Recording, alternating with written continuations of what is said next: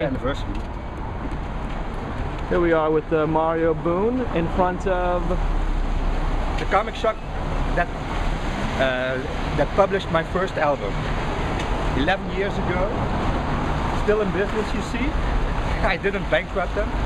Unlike certain comic book stores in America, Yeah. sadly. They're celebrating their 30th anniversary this year. And what's it called again? De Striep. De Striep. Yeah.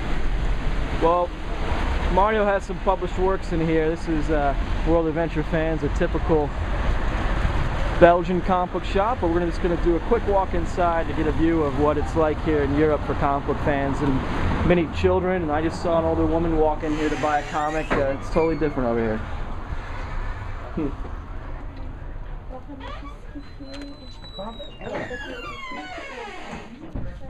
Hello.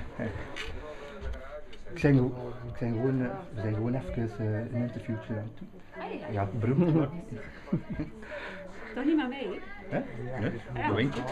Ja. Kan ik die stofzuiger, want dat er toch mee van. Ja, dank je.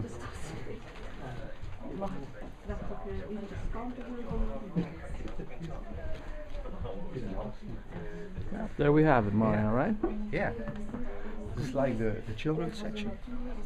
You see, this is huge and Belgium. It's what you you'd expect to see in a normal comic book shop or just another any bookshop uh, where they sell newspapers, even uh, at, at convenience stores, supermarkets. You'll find a lot of comics. Let's look at that one you're talking about.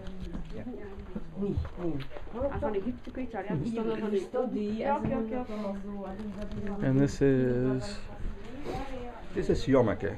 This is a, a Flemish institute. Exists. It's it's been on the market non-stop since 1950 something. It's 50 years old. It's strict. It's for kids. And on average, every Belgian owns at least 11 of these issues at home. It sells over 100,000 copies every issue. all right. I think we have uh, a good idea of what it's like over here. There's different types of uh, genres.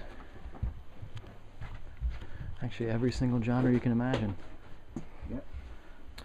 Oh, Well, and- censored, yes. yeah. uh, let's let's. Oh, here here you are, American fans.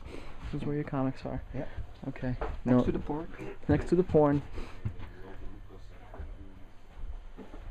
And Mario used to write for this this series down here. Yeah. It's called Red Ears. And I actually wrote some of these when I was 16. You're a, a young Stanley Yeah. writing porn, and, and here's here's Mario's story here. Yeah.